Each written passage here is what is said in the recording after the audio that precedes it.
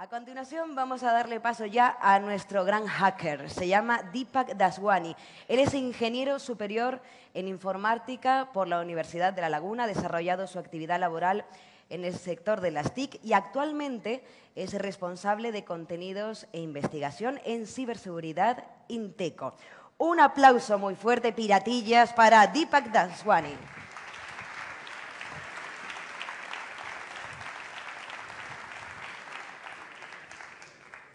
Hola, eh, buenas, buenos días a todos. Eh, en primer lugar, me gustaría darles las gracias a todos ustedes por estar aquí, por haber llenado este majestuoso salón y posteriormente me gustaría dar las gracias a la Sociedad de Desarrollo por haberme invitado, a todos los miembros de la Sociedad de Desarrollo que me han ayudado, a Javi, a Cosme, a Elena Santos y en especial a mi amigo Alejandro Santos, que me ha invitado para poder estar aquí hoy y además me ha advertido que no haga nada raro. Eh, también me gustaría dar las gracias a Tino Guzmán, nuestro concejal. Y bueno, no me voy a presentar porque ya María José lo ha hecho estupendamente, así que como tengo muy poco tiempo y voy a ir muy rápido y les quiero enseñar algo, eh, un caso real, una demostración, voy a empezar a contarles ya lo que he venido a contarles aquí. ¿no? Lo que además, lo que les vengo a contar aquí es una investigación que he estado haciendo en mis ratos libres y que la he guardado para mostrarla en primicia tecnológica, la acabo de publicar este lunes en el blog de Chema Alonso, El lado del mal, y es un tema eh, sobre WhatsApp. ¿vale? En verano del año 2013, el año pasado, pues empecé a estudiar el protocolo de comunicación de WhatsApp. Porque WhatsApp es el sistema de mensajería móvil por excelencia.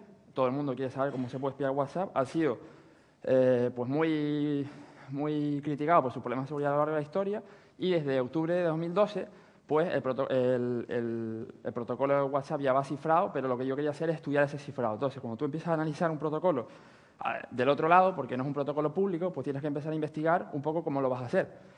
Entonces, esto es lo que hice yo, ¿no? Pues no voy a entrar en temas técnicos para no aburrirlos y para, porque solo tengo 10 minutos. Lo primero que tenía que hacer era buscar eh, pues, una clave de cifrado que el dispositivo, cualquier dispositivo, Android, iPhone o lo que sea, eh, eh, intercambia con los servidores de WhatsApp al comenzar la instalación.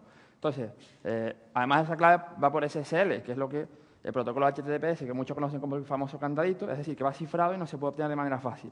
Una vez que obtuve mi clave cifrado, que la pueden ver ahí en esa imagen, lo siguiente fue ponerme en contacto con un chico holandés con el que empecé a trabajar, que se llama Max Kovaljov, que desarrolló una API para intentar conectar eh, eh, con el lenguaje de programación PHP, que a lo mejor muchos conocen, eh, por WhatsApp. Entonces, esto se hace mediante ingeniería inversa, porque como digo, WhatsApp no te facilita la tarea, sino que al contrario, va sacando diferentes versiones cada dos por tres y tú tienes que ir descubriendo cambios poco a poco y lo vas haciendo con lo que nosotros llamamos reversing ingeniería inversa. Aquí se puede una muestra del código y como yo aquí encontraba lo que se llama en criptografía un challenge node, que es un reto que te devuelve el servidor y tú con la clave cifrado que yo acabo de enseñar antes, cifras y le mandas el mensaje. Si el reto está bien, seguimos, ¿no? Entonces, bueno, esto está muy bien.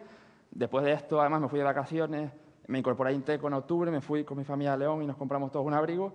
Y eh, lo que hice fue dejar esto de lado y retomar el tema hace unas semanas porque lo que descubrí es que antes de todo esto, antes de que empiece la comunicación cifrada, se envía en texto plano un paquete que va por ahí, por el aire, desde, un desde nuestro dispositivo, cualquiera de nuestros dispositivos que están aquí ahora, eh, a los servidores de WhatsApp con el sistema operativo del cliente, la versión del aplicativo WhatsApp, el puerto que se utiliza y el número de teléfono con el prefijo del país. Entonces, esto que vemos aquí es un paquete que manda mi iPhone, que mandó eh, cuando yo me conecté a, una red y capturé el tráfico, ahí podemos ver mi teléfono que está tapado, ¿vale? Y pues lo que hice fue hace unas semanas ver que todo esto seguía igual, ¿no? Y aquí podemos ver más ejemplos de capturas en redes Wi-Fi. Aquí hay un Android y aquí tenemos un Symbian, ¿vale? Aquí podemos ver, si ustedes ven el paquete, ven Android, ven Symbian y ven el teléfono que está debajo. Entonces, bueno, lo que pensé fue, pues ¿cuántos de estos paquetes se transmiten alegremente por el aire? Por eso el nombre de la conferencia, en redes Wi-Fi públicas, redes de hoteles, redes de cafeterías, redes de centros comerciales o la red de tecnología Santa Cruz. ¿Quién está usando la wifi aquí? ¿Nadie está usando la wifi? Eso es mentira, ¿eh? Bueno, entonces, ¿y cuántos de ustedes usan wifi pública? Nadie usa wifi pública, no me lo creo porque lo que les voy a enseñar hoy confirma que sí, ¿no? A todos nos encantan las wifi públicas,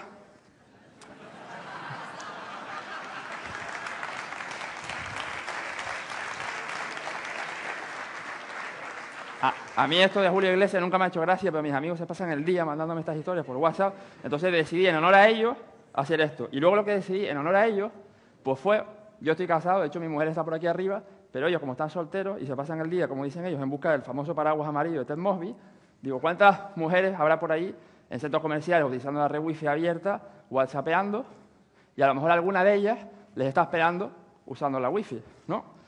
Entonces dije, bueno, pues para facilitar la tarea, porque ellos de paquetes TCP/IP, de criptografía y de estas cosas no entienden mucho, creé una herramienta que se llama WhatsApp Discover, o lo que es lo mismo en español, rubia, rubio, moreno, morena, me dejas tu WhatsApp.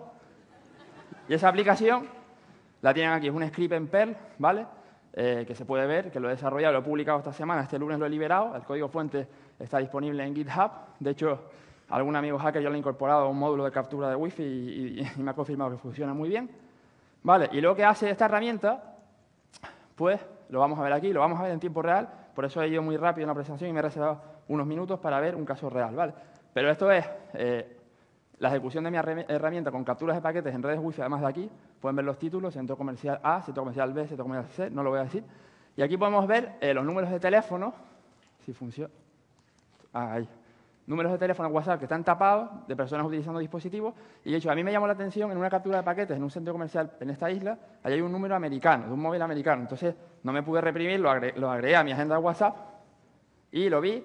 Y por su estado, supe que es una persona que habla español que seguramente como yo estaría de vacaciones en Navidades en la isla, y además si ves su foto, que la he tapado también, evidentemente por motivos de privacidad, se puede intuir que es canario, ¿no? Bueno, eh, pues lo que pensé es, ¿qué pasaría si una celebrity, un alto cargo público, se conecta a la wifi de su hotel? Seguro que ningún cargo público se, conecta a la wifi de un hotel eh, sin utilizar una VPN. Luego pensé que además de para ligar, para mis amigos solteros, pues las empresas pueden obtener información de gente conectada a una red wifi y números de teléfono WhatsApp. Entonces, el resumen es que hay que tener mucho cuidado con las redes Wi-Fi, a no ser que quieras encontrar pareja, claro. Y ahora vamos a ver, pues darle las gracias, ahora vamos a ver la demo en tiempo real, ¿no? Y recordar que ella también está usando la Wi-Fi, no solo las, mujeres de...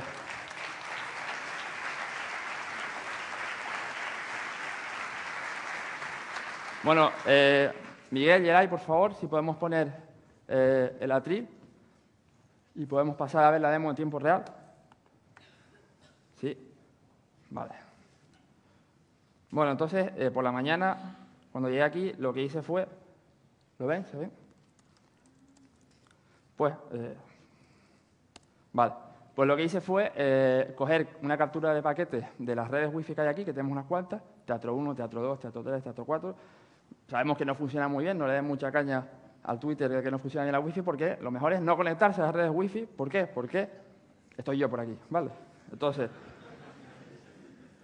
¿Qué he hecho yo? Aquí está la herramienta WhatsApp Discover. He cogido los paquetes, las capturas de paquetes de esta red Wi-Fi abierta y he identificado teléfonos de todos ustedes que están aquí utilizando WhatsApp. Pero no los voy a enseñar, a no ser que quieran, porque eh, evidentemente es un link de privacidad. ¿no? Pero aquí podemos ver, si alguno de ustedes lo voy a poner muy rápido, vamos a ver que esto es real, que identifica teléfonos. Además vamos a ver que identifica más teléfonos Android que iPhone, porque cuando las redes Wi-Fi van mal, al iPhone le cuesta más conectarse que al Android, a un dispositivo iOS, todo como apreciación y vamos a verlo eh, en tiempo real. ¿no? Bueno, vemos que en estas redes tenemos ahí números de teléfono, son las capturas del teatro. O sea, alguno ve su teléfono, no se enfade, porque lo voy a quitar muy rápido y seguro que no se ve bien. Vale, yo quería enseñarles un caso real, eh, porque además alguno por ahí seguro que me ha visto con la antena wifi cogiendo el tráfico de la, red, y quería enseñarles que esto es real y que funciona, porque a mí las cosas me gusta enseñarlas. ¿no? Pues nada, eh, muchas gracias a todos. Me queda un minuto y 58 segundos, así que creo que he cumplido con Alejandro en el tiempo, ¿verdad, Alejandro? Gracias a todos y por estar ahí, gracias a la Sociedad de Desarrollo por invitarme y espero venir el año que viene.